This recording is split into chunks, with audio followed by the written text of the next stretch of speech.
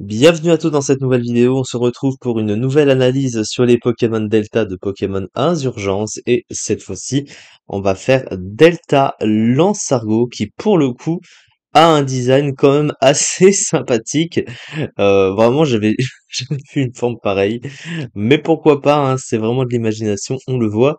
À la base du coup Lansargo c'est l'évolution de Carabang, c'est euh, un Pokémon qui est obtenu par échange hein, du coup. Euh, si vous évoluez, euh, échangez Carabing avec seulement Escargome, vous obtenez votre Pokémon. Puisqu'en fait, euh, dans, dans les formes, ils switchent leur apparence sur le Pokémon échangé, puisque la carapace de Lansargo, à l'intérieur, vous avez un Carabing et un Limaspid, donc du coup, la tête du Carabing, non pas du Carabing, du de l'escargome qui est, qui est modifié à l'envers.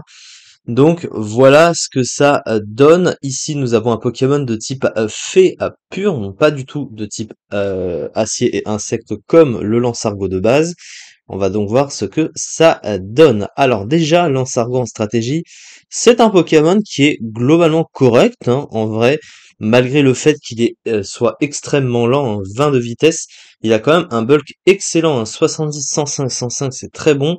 Il tape extrêmement fort, ce qui veut dire qu'il n'est pas passif. Un 135 en attaque, c'est du niveau de Scalperer, hein, pour vous donner un ordre d'idée qui est un peu plus rapide, mais euh, c'est quand même une grosse puissance. Un Scalperer qui est actuellement le meilleur Pokémon euh, de l'Ovaeuse en 9 génération, à peu de choses près.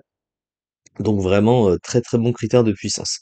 Donc du coup, un type fait offensif avec cette puissance, bah c'est plutôt pas si mauvais. Alors, il aurait presque préféré peut-être espérer un double type, mais type fait, c'est pas mauvais en soi hein, pour ce, Pokémon. Le type fait n'a pas beaucoup de faiblesses.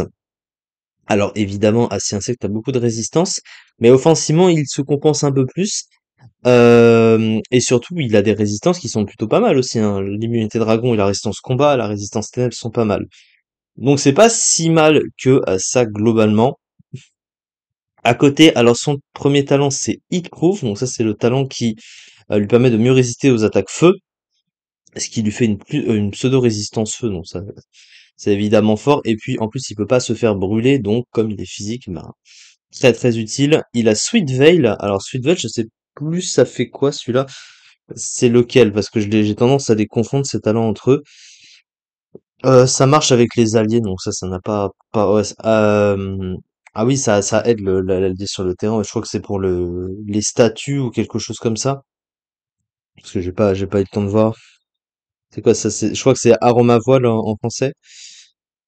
c'est un des talents de, de Florge ou de, de Cocotine ou un des trucs comme ça.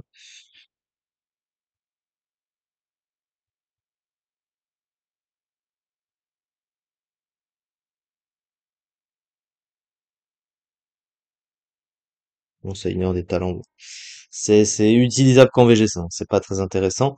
Et en talent caché, il a simple qui va doubler les euh, augmentations de statistiques comme les baisses. Donc ça, c'est plutôt pas mal, hein, puisque je crois que le Pokémon doit avoir accès à, à Danslam, quelque chose comme ça. Oh, il a Slack Off. Oh, je crois que il n'a pas de move de soin euh, à la base. Donc Slack Off, très très intéressant. Donc ça n'a pas le nerf des points de puissance comme en 9G.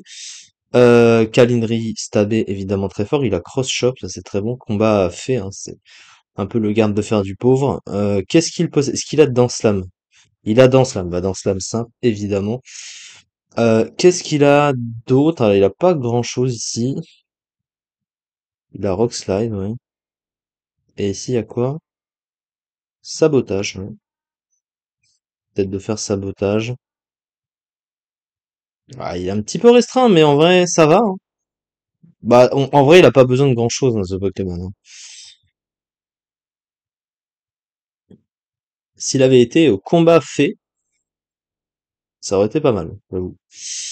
Ah, il est intéressant. En vrai, simple, quand t'as 135 de puissance, avec ta danse lame, t'es pas mécontent, surtout vu le bulk. Ouais, non, en vrai, c'est potentiel. Alors, le gros, euh, surtout qu'il a du soin. Hein. Donc, ça pallie un peu à sa vitesse. En vrai, il y a un potentiel avec ce Pokémon, honnêtement. Euh, pourquoi pas, en vrai. Puis, il est très rigolo, euh, son, son design, donc ne jamais à essayer. Voilà, donc ce sera ça pour cette fois-ci. On se retrouve la prochaine fois pour continuer les analyses sur les Pokémon Delta de Pokémon Insurgence. À très bientôt donc. Ciao.